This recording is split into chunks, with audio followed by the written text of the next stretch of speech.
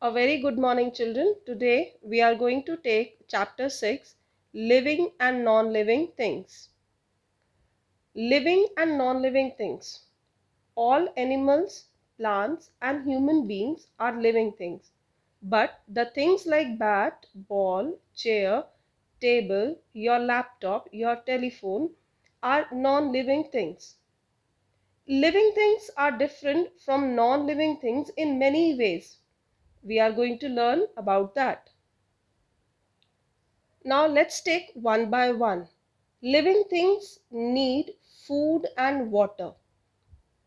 Living things need food and water to live and grow, as we all need food and water. Animals also eat plants, and some animals eat flesh of other animals. And plants, they make their own food in the presence of sunlight, air, and water. That is called photosynthesis. Human beings depends on both plants and animals for their food. So children, living things need food and water, but non-living things like table, chair, they don't need food, they don't need water. Second point, living things can move.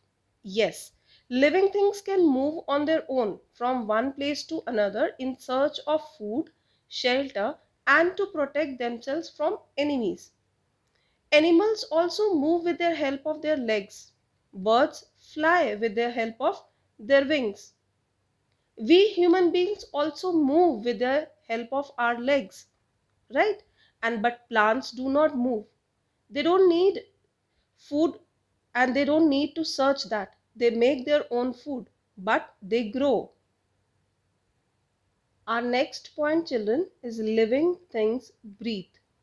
Yes, they need air to breathe. But if we talk about non living things, they don't breathe. Human beings and animals breathe through their nose, whereas insects like cockroach breathe through air holes present on their bodies. Also, plants breathe, yes, with their tiny pores which are present on the leaves. These tiny pores you can see are called stomata. Our next point is living things grow. Yes, all living things grow over a period of time. They change their shape and their size. As you can see in the picture, human from a child to an adult, animals they grow. Plant comes into tree. So children so this these are the four difference between living things and non-living things